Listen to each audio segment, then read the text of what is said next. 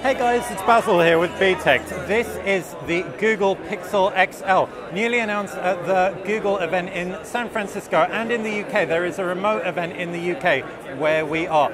5.5 inch display, front camera. Down at the base, you've got that USB Type C single speaker. It is not a stereo speaker. Left hand side, you can see that SIM slot. It is not expandable. Comes in either 32 gigabytes onboard memory or 1 to 8 gigabytes. This is also not a cheap phone either. It is pretty much on par with iPhone 7 Plus pricing, coming in at the highest capacity, 819 pounds. But this is the larger of the two. It's literally the best of the best from Android. It's going to support Google Daydream, which is a VR experience, which will also be launching here in the UK. As far as the internals, the Snapdragon 821 with 4 gigabytes of RAM.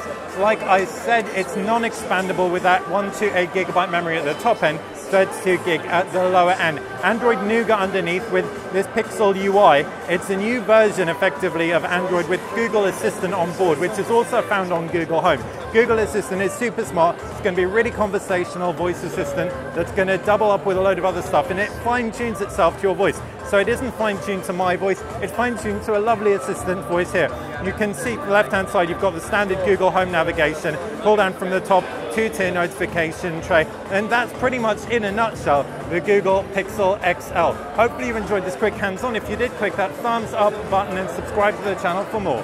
Thanks for watching BTech.